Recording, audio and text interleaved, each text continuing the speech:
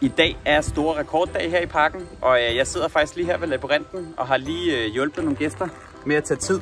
Så nu skal vi lige til at opdatere tavlen. Men øh, som I kan se her, så øh, har der været mange igennem, som øh, har prøvet at ja, få den bedste tid.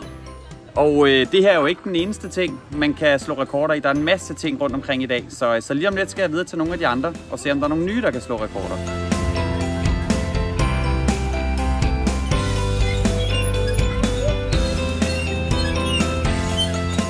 Så har vi lige været ved hoppecyklerne, hvor der igen er blevet slået rekorder.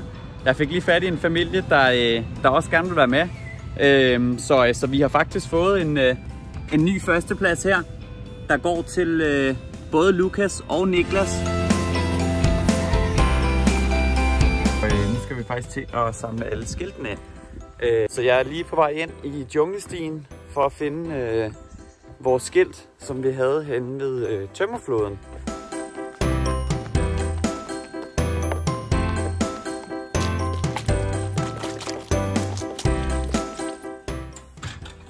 Så kan vi gå tilbage igen.